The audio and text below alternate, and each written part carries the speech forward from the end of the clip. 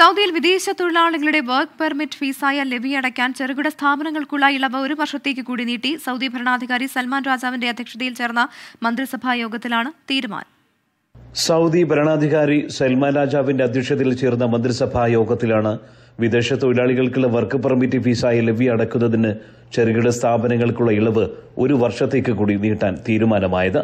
ഉടമസ്ഥൻ ഉൾപ്പെടെ ആകെ ഒൻപതോ അതിൽ കുറവോ തൊഴിലാളികളുള്ള ചെറുകിട സ്ഥാപനങ്ങൾക്കാണ് ലെവി അടക്കുന്നതിൽ നിന്ന് ഒരു വർഷത്തേക്ക് കൂടി ഇളവ് ലഭിക്കുക. രാജ്യത്തെ ചെറുകിട സ്ഥാപനങ്ങൾ നടത്തുന്ന മലയാളികൾ ഉൾപ്പെടെയുള്ള വിദേശികൾക്ക് ഏറെ ആശ്വാസം നൽകുന്നതാണ് പുതിയ തീരുമാനം. രണ്ടായിരത്തി ഇരുപത് ഏപ്രിൽ ഏഴിനായിരുന്നു ഇത് സംബന്ധിച്ച ആദ്യ തീരുമാനം വന്നത്.